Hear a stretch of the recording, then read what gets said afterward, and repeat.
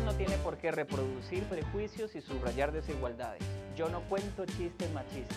Y cuando cuento historias construyo manos extendidas y no puños que golpean. ¿Y vos? ¿Cómo podrías contribuir a la igualdad entre hombres y mujeres?